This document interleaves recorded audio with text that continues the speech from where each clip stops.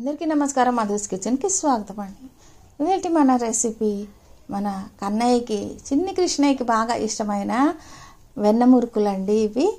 పిల్లలందరికీ కూడా బాగా ఇష్టం. చూస్తున్నారు కదా చాలా బౌల్గా కరకరలాడుతూ చాలా బాగుంటాయి. నోట్లో వేసుకుంటే వెన్నలాగా ఇట్టే కరిగిపోతాయి. దీనికోసం ఒక కప్పు బియ్య పిండి తీసుకుంటే దానిలో ఒక రెండు స్పూన్ల శనగపిండి వేసుకోవాలి. స్టవ్ని లో ఫ్లేమ్లో పెట్టి ఈ పిండిని కాస్త వేపాలన్నమాట. బాగా పొడి పొడిలాడాలి పిండి. చూస్తున్నారు కదా ఇట్లా బాగా పొడిగా అయింది ఇప్పుడు. స్టవ్లో ఫ్లేమ్లోనే ఉండాలి ఎక్కువ వేడి కావద్దు. సో ఇట్లా పిండి ఇలా అయిన తర్వాత మనం ఒక రెండు స్పూన్ల పుట్నాల పప్పు వేపిన శనగపప్పు తీసుకొని మెత్తగా పొడి చేసి ఈ పొడిని కూడా ఆ బియ్య పిండిలో వేసి కలపాలి. అట్లానే దీనిలో కాస్త జీలకర్ర వేసుకోవాలి అలానే టేస్ట్కి సరిపడా సాల్ట్ ఇవన్నీ కూడా వేసుకోవాలి. ముఖ్యంగా వెన్న వేయాలన్నమాట. ఒక రెండు స్పూన్ల వెన్న వేసి కలుపుకోవాలి. ఇది ఫ్రెష్గా ఉండాలి వెన్న కూడా.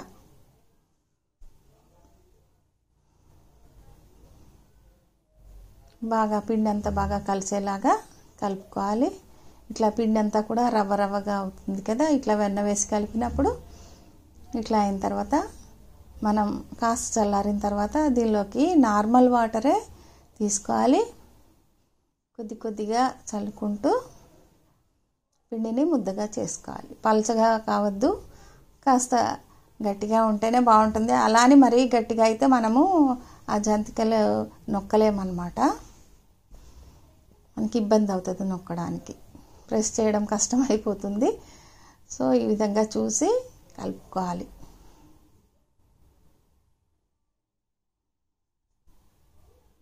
ఇలా రెడీ చేసి పెట్టుకున్న తర్వాత మనం జంతికలు వేసేది తీసుకొని దానిలో స్టార్ మోల్డ్ వేసుకోవాలి. ముళ్ళు మురుకులు అంటారు కదా వీటిని.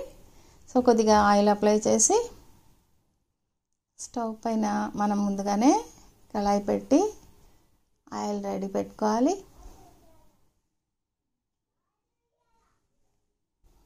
ఇప్పుడు ఒకసారి చెక్ చేసుకోవాలి. మనం వేయగలమా? ఫ్రీగా నొక్కగలమా అని చూసుకొని ఆయిల్ వేడెక్కిన తర్వాత మనం వీటిని వేయాలి. మరీ ఎక్కువ వేడి పొగలు వచ్చే వేడిలాగా కాకుండా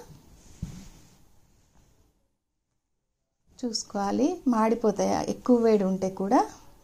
సో రెండు వైపులా బాగా కాలేలాగా వేగనిచ్చి చాలా ఈజీగా వేగిపోతాయి. ఎందుకంటే వెన్న వేసి కలిపాం కదా.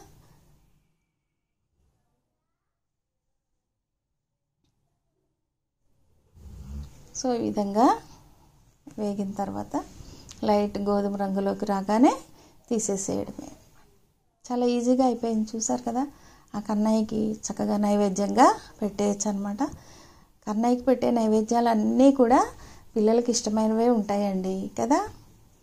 సో ఈ విధంగా అన్నీ రెడీ చేసుకున్న తర్వాత వీటిని చిన్న ముక్కలుగా చేసి మనం ఏదైనా ఒక డబ్బాలో స్టోర్ చేసి పెట్టుకుంటే చాలా రోజులు నిల్వ ఉంటాయి. చాలా రుచిగా ఉంటాయి. చాలా ఈజీగా కూడా చేసేయచ్చు అనమాట చాలా బోల్గా కూడా వస్తాయి. ఇట్లా అంటే అట్లా నోట్లో వేసుకుంటే కరిగిపోయేలాగా.